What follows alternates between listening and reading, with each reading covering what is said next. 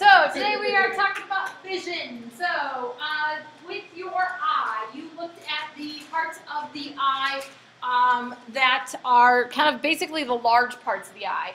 Um, what I wanted to tell you about is the retina. So, the retina was, remember, the part of the eye that um, is kind of the inside layer of the eye. Remember um, when you did your model, guys? Okay, your retina is this very thin layer on the inside of your eye, okay? Inside of your eye, and it goes around.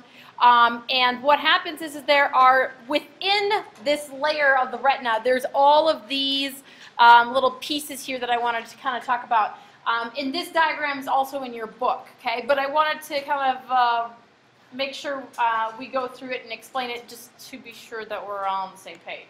So, first of all, your retina. Okay, your retina, this is um, after light goes through your uh, the other parts of your eye and um, it goes back to the back of your eye and goes through the retina to the suspense rods and cones. the rods and cones. Um, in this diagram up here, um, the blue little pieces up here, these are the rods. The cones are these orange, kind of orangey yellow pieces. Okay, those are the cones. There are rods and cones um, in your retina. Okay, that goes all the way around the out the inside of your eye. Okay, this thin layer that goes on the inside of your eye. Um, and rods and cones are going to be um, slightly different. So the rods are going to detect the black, white, and gray. Okay, so um, rods do not detect color. Notice that we have more rods than we have cones. Okay. So rods are detecting the black, white, and gray, and this is necessary for peripheral vision. So what's peripheral vision? Like more. Yes, uh, up kind of like the sides of um, your uh, the sides of your face, kind of. Those are going to be um, in your peripheral vision. Um, rods are also um, necessary for twilight vision.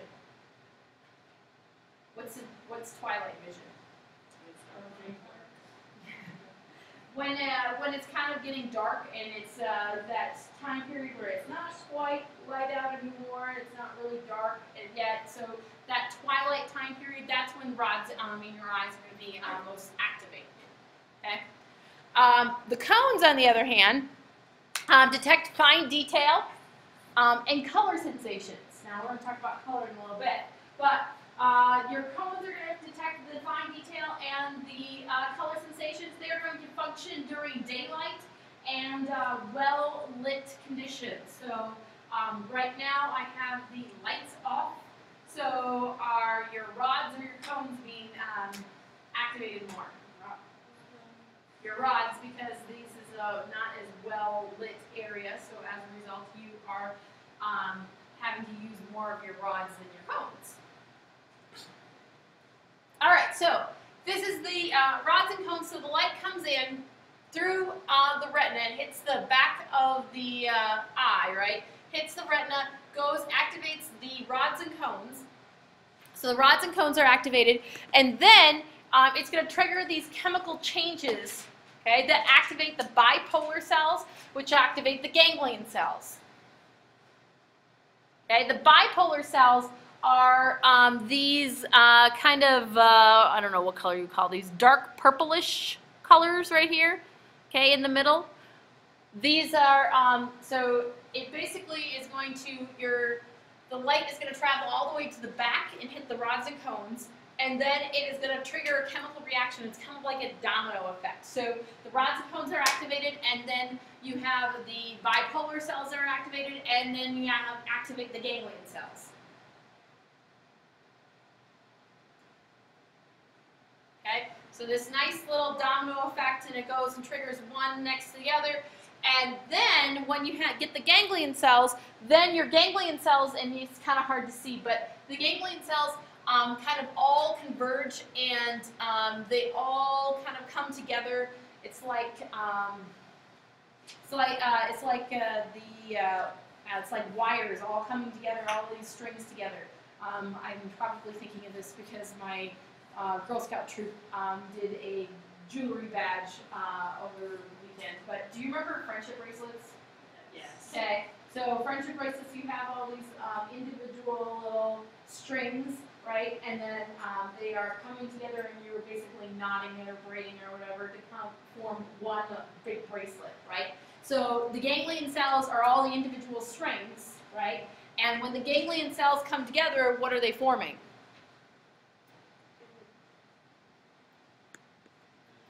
They're coming together to form the optic nerve. Okay? So the ganglion cells will come together to form the optic nerve. So in my analogy, the ganglion cells are the um, are the strings.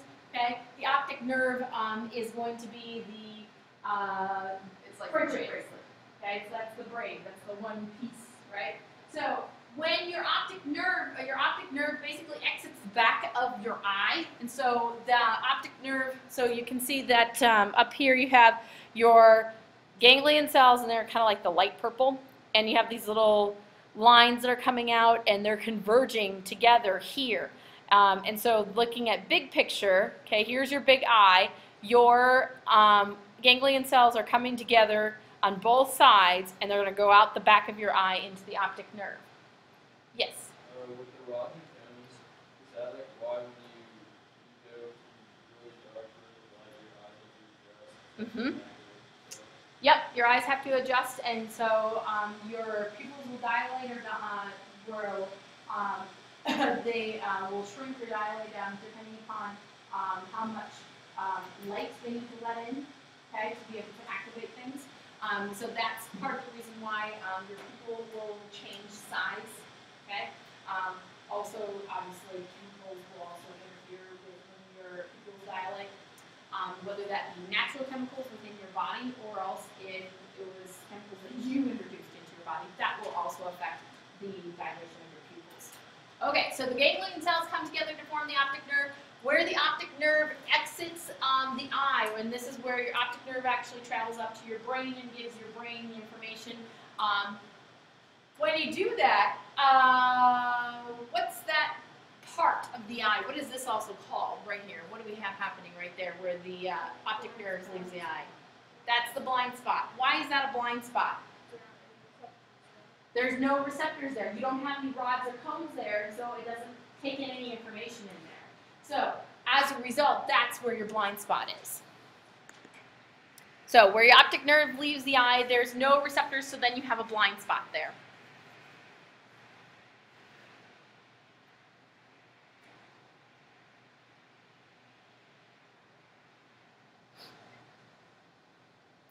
All right, now, after the information leaves your eye and it goes on with the optic nerve to your brain, okay, your brain is going to process the information that you see, the stimuli that you see, okay? So, I think I got enough time to be able to talk about one last thing um, before we quit for today.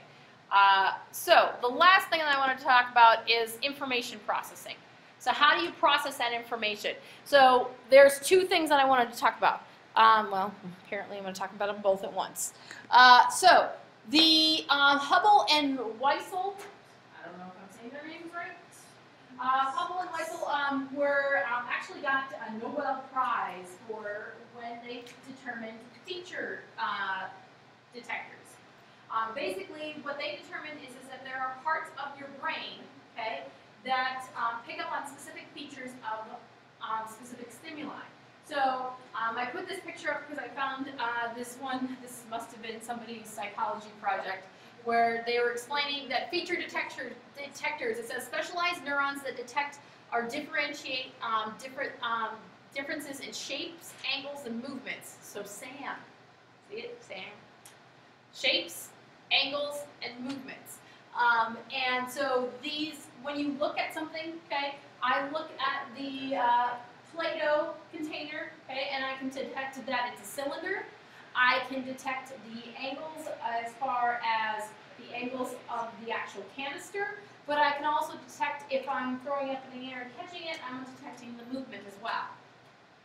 So what they found though is there's different parts of your brain that will pick up the different features of a particular item, a particular stimulus.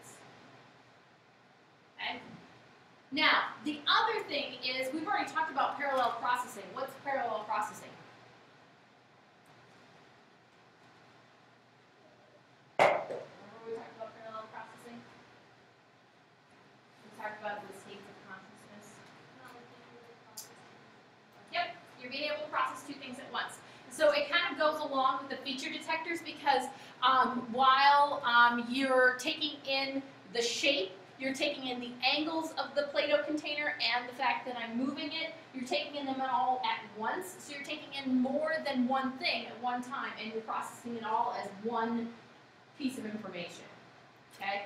This is different than, for example, computers that can only take in one piece of information at a time. Okay? So, um, and that's part of the reason why you know your computer will slow down if you have too many programs open. It can't think like that. Okay? It doesn't think like a human and it doesn't think like a person where we can take in more than one thing at once. Okay? All right. Anybody have any questions about how the retina works or how we process information? Okay. I'm faster than I thought. Um, what we're going to do probably more tomorrow is looking at color um, and how uh, color is different for everybody. Anybody in here colorblind? Okay. Anybody ever done the colorblind test? What? You're done. Anybody ever do the colorblind test before? No? Okay, so what we'll take a look at is um, we'll take a look at determining um, how, how do we actually see color. Now, we already said, um, do rods or cones see color? Cones. Cones see color, rods see black, white, and gray. So cones see color. So how can you explain, how do we explain the variances in color that we see? And why is it that some people don't see color? Okay? And when we say somebody is colorblind, what does that mean? Well, it'd different. It does, it is different. What are you saying? Yes, one of the types of cones don't work. So we'll talk about the uh, trichromatic um, theory, um, but we'll also talk about um, other theory, the other theory, and I can't think of it off the top of my head now, um, where uh, why is that we see um, different colors um, depending upon who you are and what um, you're looking at. Okay.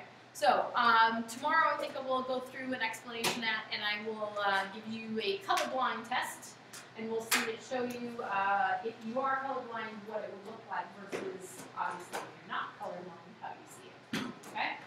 All right. Questions? There like? Yes, there are different. Uh, I wouldn't say levels, but there's different things as far as colorblind.